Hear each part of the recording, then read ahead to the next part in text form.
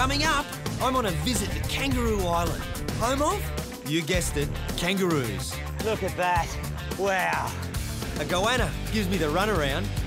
I don't know about his size, but he sure is handsome. And I take a siesta with one of the locals.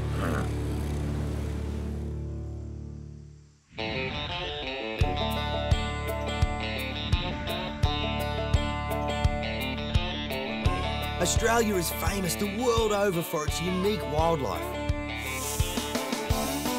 You could cover vast distances to see just some of what this spectacular continent has to offer. Or you can simply head to where I'm off to now. I'm on my way to Kangaroo Island, just 13 kilometres off the South Australian coast. A landmass famous for its rich variety of typically Australian wildlife. To prove it, how's this? I don't even have to get off the boat to meet some of the amazing locals. Its isolation means it hasn't suffered like the mainland from the impact of European settlement.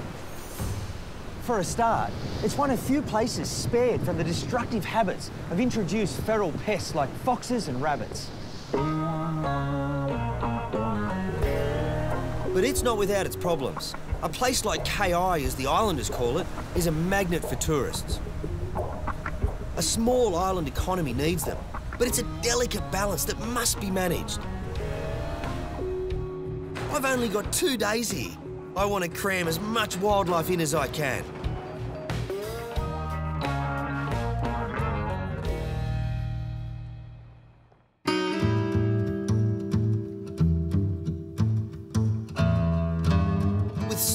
Animals to see on KI, and not long to tick them off, I've made up a wish list.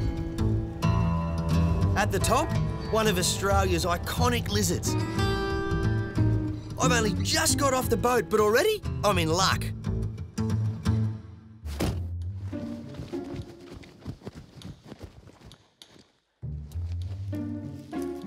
Down this hole is the first reptile spot for the day.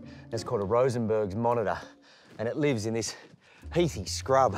Now, being on an island, I wasn't sure what he was going to do. I've, I've caught them on the mainland, and you have to be fast because they take off, but I thought here on an island, perhaps no predators, maybe he'd just sit there. But the second I got out of the car, he took off down the hole. And it must be deep because I can't even see the tip of his tail. If I don't spot one for the rest of the day, I'll bring something to help me catch a glimpse.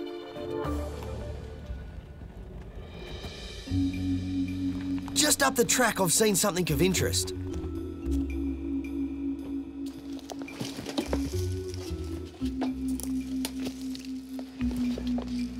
Best homes for tiger snakes. That tin's nice and warm in the afternoon. The tiger snakes on KI differ in a few ways from their mainland counterparts. For a start, they're darker, which retains heat, important in a climate more susceptible to colder extremes. They also tend to grow a fair bit larger here, mainly due to their diet. Frogs and skinks are replaced by an annual gorging on muttonbird chicks. What doesn't change is how deadly they are. Tigers are the fourth most venomous land-based snake on Earth. Combined with a fiery temper, they are not to be messed with, no matter where you are. No tiger under here, but it looks like I found myself another venomous Aussie icon.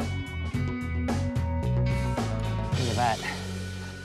That's a redback spider. It's late afternoon and I'm out looking for tiger snakes and goannas, but tin like this and rubbish, as messy as it looks, is actually perfect hiding spot for reptiles because it stays warm. But in this case, it's a big old redback spider. This one's particularly interesting. It's about as big as you'll ever see, and it's had a little skink for dinner some time ago. Now it's just dehydrated, but it sucked all the goodness out of that skink that's probably gone under here for a bit of warmth and a sleep and got caught up in the wrong spider's web. I can tell this is a female because of her size, but also because of the egg sacs. And at the moment, they'd either be little eggs, spiders might even have hatched inside and just haven't come out of that sac yet. I'm gonna flip her over and put her right back where she was.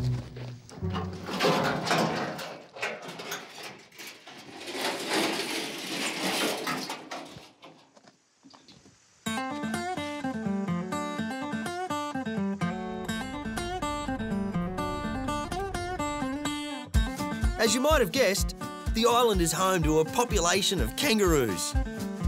They're in fact a subspecies of the western grey, they're a little smaller than their mainland cousins, and to help with the Southern Ocean's winters, they've developed a thicker coat.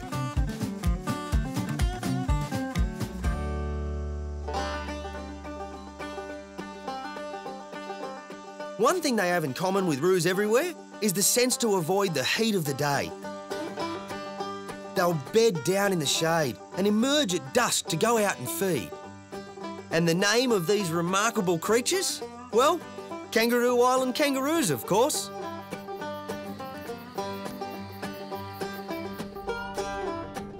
Just when I thought the day was over, I spot something shuffling across the road. Look at this. This is a little echidna. It's one of Australia's two monotremes, the echidna and the platypus. Echidnas are found right across Australia and many little islands offshore, just like Kangaroo Island. And what he's doing right now is the key to their success. It's their protection. He's able to curl himself up in a ball, just showing the spikes. Now, if I was an eagle or a dingo or a goanna, I wouldn't be able to eat him. Any time I tried, my mouth hit spikes. This little fella was in the middle of the road and there's cars zapping fast and it's a bit of a problem on the island that I've noticed. There's so much animal habitat on either side of the highways and cars go zapping by. But I brought him off the road now and into the bush. Truly iconic Australian species, the echidna, and I love them. It's time for you to go, mate.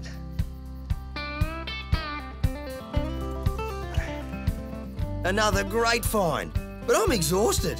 That's definitely enough for one day.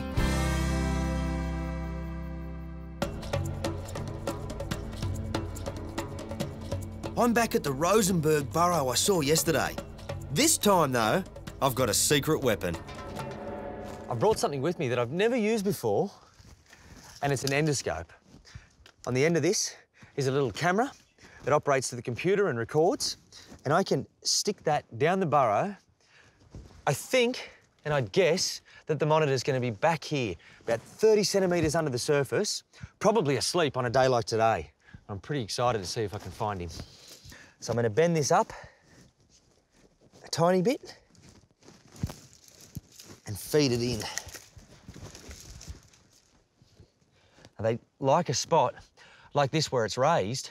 If they go too deep, it's way too cold. Too high, too hot, it's exposed. So normally it's about that deep and it'll be hmm, up to a metre long. Here we go.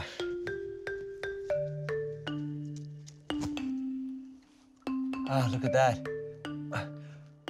Somebody's home, but at this moment, all I can see is Patton. It's just his body. Oh, there's a big hiss. He's hissing, so I just touched him. Come back a bit. Look at that. There's a cavity at the end of that burrow that is about that round as I can see it. And at the moment, I've got a side view of what I think is the base of the tail. As I work the endoscope around the goanna, other features come into view. Okay, so there's a foot. I really want to get a look at his face. Okay. Oh, and there's his ear.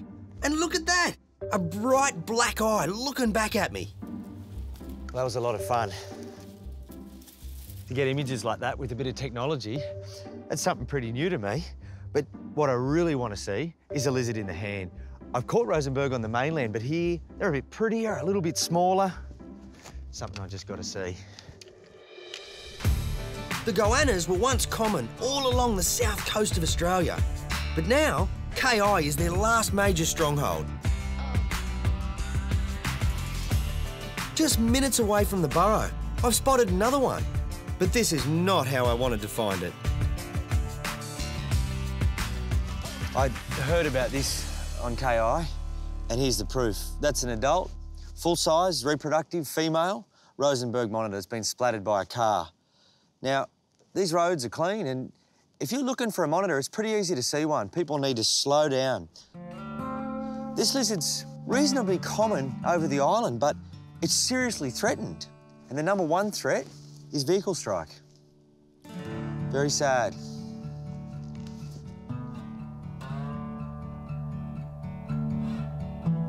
One tourist season saw 570 reported roadkills. That's a massive amount for an island population to sustain. I'm starting to think that handling KI's famous Rosenberg monitor isn't going to happen.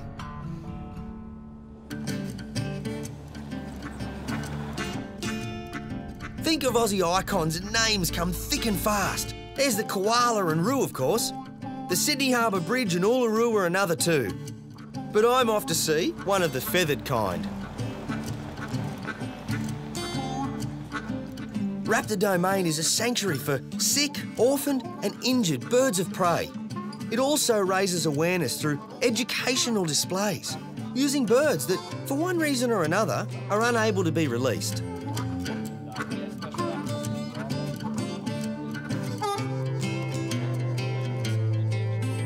Now, I do a lot of bird spotting in my travels, but it's not often I get up close to one of my favourite Aussie raptors, the wedge-tailed eagle. Today, I'm about to get my chance.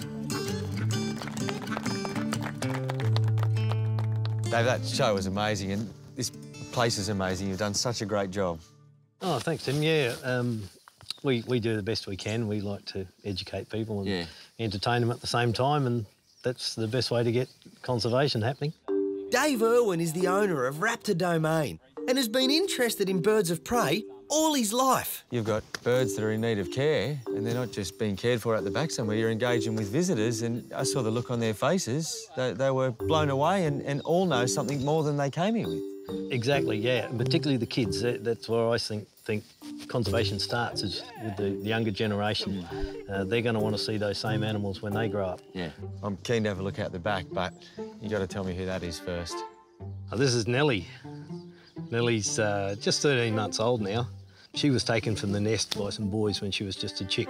Yeah. And uh, nobody wanted her, so we took her on here, and she's turned out to be a lovely bird. She has a lovely nature as far as wedge-tails go. Nellie's one of those very few birds that'll sit on anyone's glove, particularly Mine? yours. Ah, Sure. good. Let's have a look. Whack on the glove there. There you go. Just grab those jesses with you. And there you go. And that's Nell. Instantly. She's heavy. Feels great. Yeah, yeah, she's four kilos, which is about right for, for a female. What a bird. Interesting that people look at the beak and I'm sure react to that. That Yeah. oh, that beak's nasty, but that's very gentle and ticklish. It's Yeah, it's if they want to hurt you, they always do it with their feet. the feet are the Yeah, weapons. Yeah, yeah. And the inside talon, that's like the meat hook, and that's like just with our finger and thumb. Yep. That's where all your pressure is Yep. there. After landing, its front two claws anchor the prey, while its rear talon thrusts into flesh, dealing the lethal blow. So on that back claw, or the meat hook as you called it, do they have any idea how much pressure can be pushed with that? Now they reckon about a, about a ton per square inch on the hind talon. Oh, And that, that's that's a lot. Yeah, she's giving you Look at that. glove a little Yeah, bit. of a yeah, she's and giving I it a bet you can feel that. And what's most amazing with it, people don't realise that each toe has a locking system in it. So when the bird locks its toes, it's locked. It's and, in and place. No one's leaving unless the bird wants to let it go. Okay, Tim, we'll we'll, uh, we'll go and have a look at some more birds. Eh? we're gonna head out the back. Sure. Great. I'll give her back to you. Yep. Thank you, Nellie. Don't forget that, mate.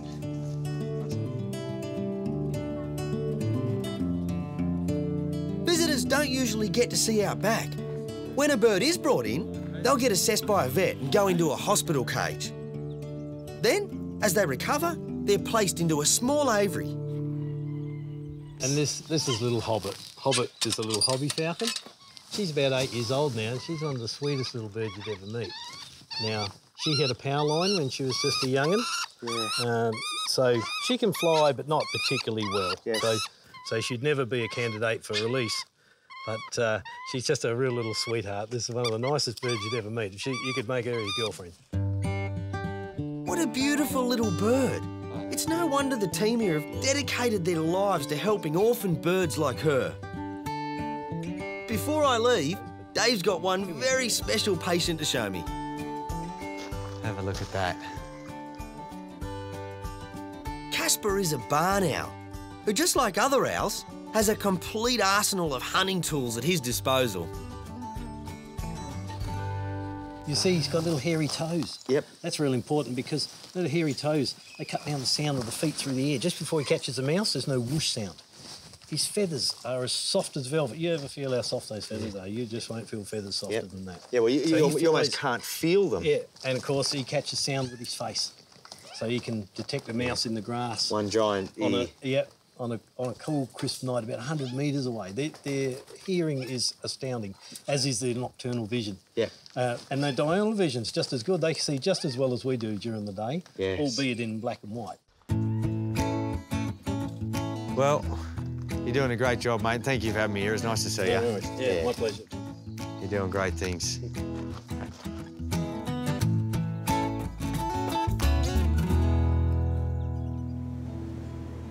It may be called Kangaroo Island, but in my opinion, it could easily be named after this lot. Of only 15,000 Australian sea lions left in the world, 85% of them live in South Australia, with Kangaroo Island hosting the largest colony. And of all the places to spot them, it's here, at the inventively named Seal Bay, that you're guaranteed to get a good view. Their days are filled with a mixture of play and feeding, but they seem to do what they love most. And that's sleep. And a lot of it.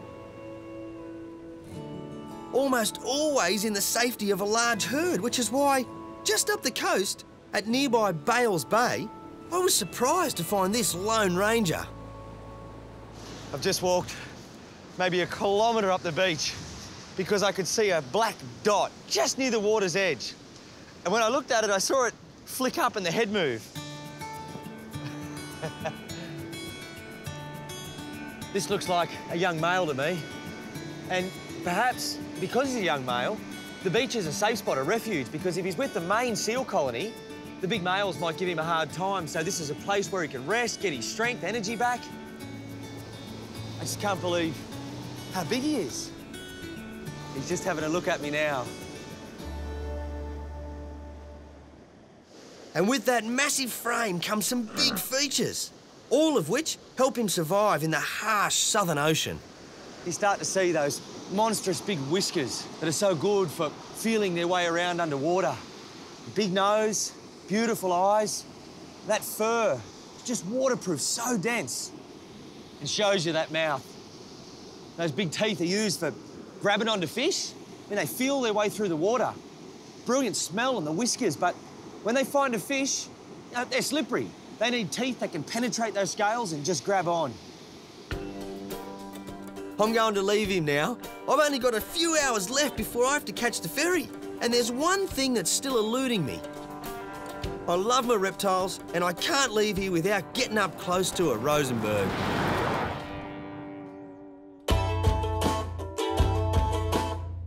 I was told the island was teeming with monitors, but so far, I've only been able to catch glimpses of them, or lifeless on the road.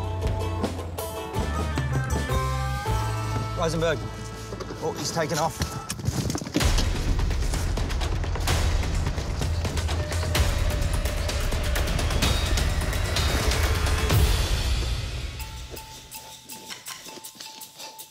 Look at that. Wow.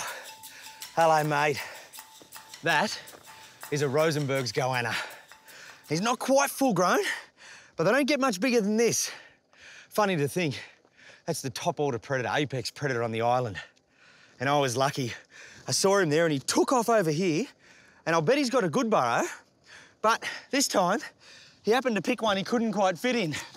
So his head was in there, the body was halfway in, grabbed him straight by the tail. I am very happy to get that. Rosenbergs don't get as big as perenties, Australia's largest monitor, or lace monitors that are common along the east coast of Australia. But on an island, there's limited resources and limited food resources, and that dictates how big you can get. I don't know about his size, but he sure is handsome. Look at the teeth in there. Even for a small monitor, he's got a mouth full of choppers and sharp claws. He'll use these weapons to kill his prey, biting down with those sharp teeth before thrashing about with his powerful neck. However, like we've seen, they're no defence against a speeding car. Monitors are my favourite lizards. I mean, have a look at that. It's dinosaur-like, that long, sleek body, powerful tail. They're just unbelievably supreme predators. Like all monitors, it has a long, forked tongue. That smells the air, and the fork enables it to tell which way the scent's coming from. If it's stronger on the right-hand side, it'll turn to the right and track down its food or scavenge a carcass that's lying about. This island's full of wildlife. Kangaroos, echidnas, koalas, tiger snakes. But for me, this is a highlight. It's time I let him go. There you go, mate.